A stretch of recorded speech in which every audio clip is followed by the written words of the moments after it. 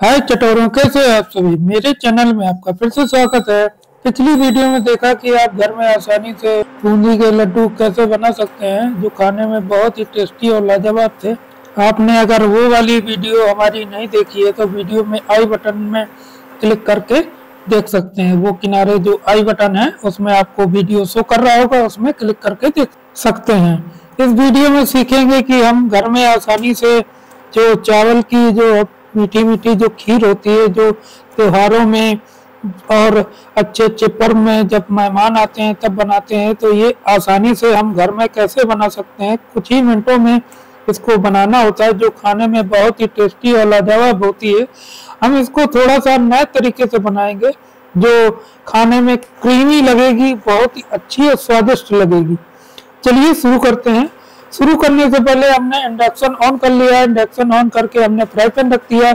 Fry pan रखने के बाद इसमें दो कटोरी पानी डाल दिया है। उसमें थोड़े से चावल डाल दिए हैं। आप जो मोटे वाले चावल हैं, वो वाले चावल ही यूज़ करना है। बासमती वाले चावल यूज़ नहीं करना है।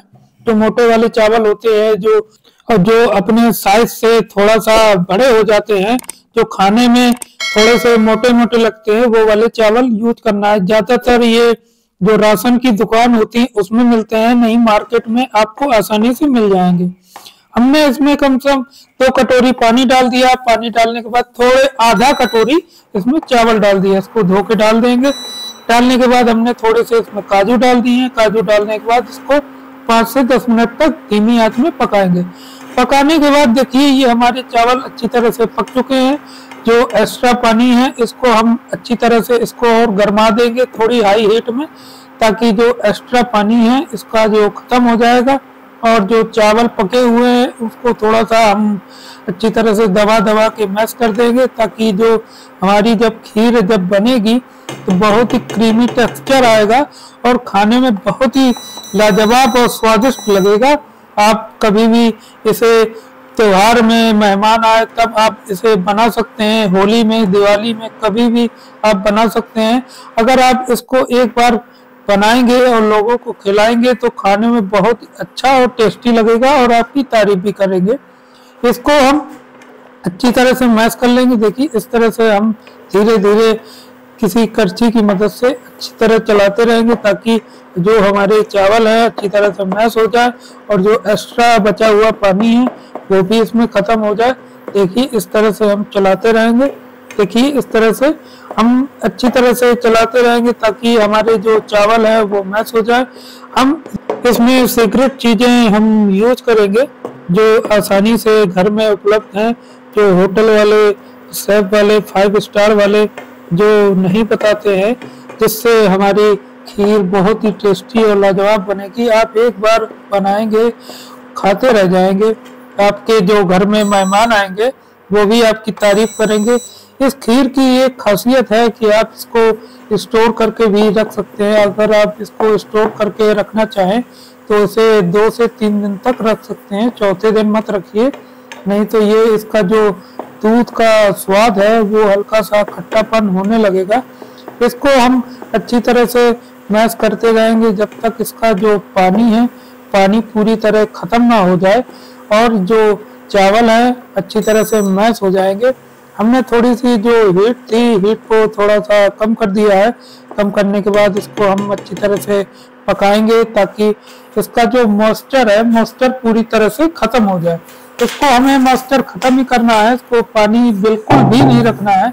अगर हम इसमें पानी रखेंगे तो जो हमारा खीर की जो क्रीमीनेस होगी, वो कम हो जाएगी। इसलिए कोई भी पानी इसमें नहीं रखना है। इस तरह से हम पानी इसका ख़त्म कर देंगे। पानी ख़त्म करने के बाद हमारे पास फुल फैट वाला ये दूध है। आप फुल फैट वाला दूध ही यूज़ करिए। करीबन एक लीटर हमारे पास दूध है। इस तरह से हम इसमें डाल देंगे। हम इसको डालने के बाद जो हीट है हीट को हमें स्लो रखना है, नहीं तो अगर हम इसको थोड़ा सा भी हाई हीट कर देंगे तो जो हमने दूध इसमें डाला हुआ है, वो जल जाएगा। अगर थोड़ा सा भी इसमें अगर जल जाएगा तो उसका स्वाद अच्छा नहीं लगेगा, बहुत ही बेकार लगेगा और ये जो खीर है, खीर हमारी महकने लगेगी। लोगों को भी इसे पसंद नहीं आता, अगर हमारी खील जल जाए तो।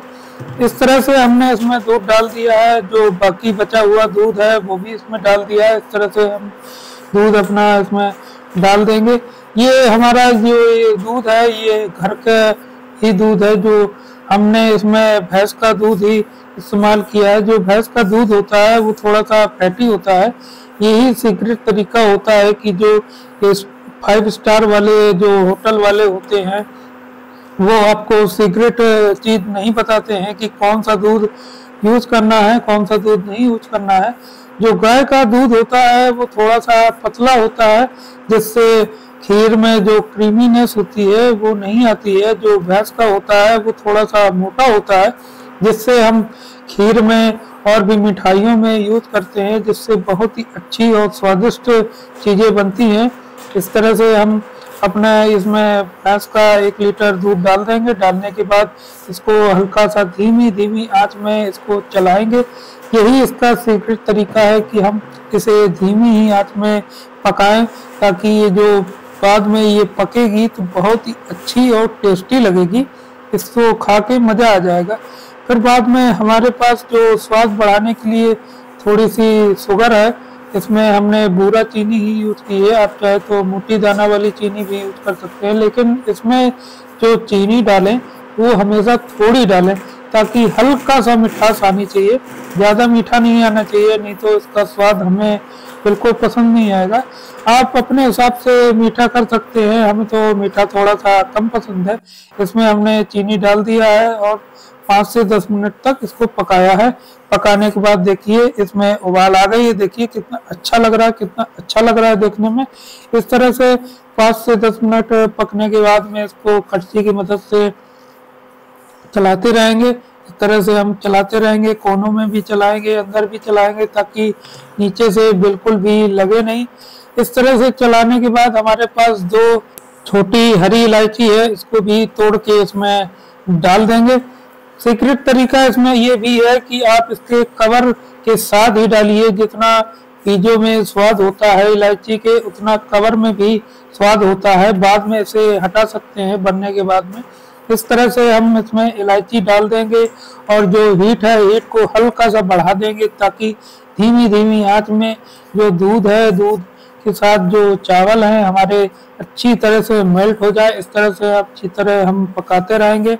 और थोड़ी स्वाद बढ़ाने के लिए हमारे पास थोड़ा सा काजू है, काजू भी इसमें डाल देंगे इस तरह से।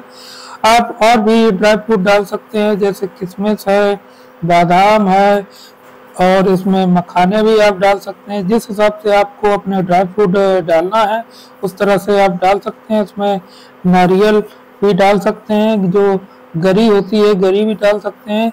आप सूखी ही गरी डालिए, इसमें कच्ची गरी मत डालिए। इसमें कच्ची गरी डाल देंगे तो ये दूध हमारा फट जाएगा। इस तरह से हम जो अपने काजू है, काजू डाल दिया। हमें तो ज़्यादातर काजू ही पसंद है। इस तरह से हमने काजू डाल दिया। काजू डालने के बाद इस तरह से धीरे धीरे करछी से चलाते रहेंगे ताकि जो क्रीमीनेस होती है, उसकी बनी रहे। इसको जो क्रीमीनेस होता है, अगर हम थोड़ा सा हार्डली इसको जल्दी जल्दी चलाएँगे तो जिसका जो क्रीमीनेस होता है उसका ख़त्म हो जाएगा।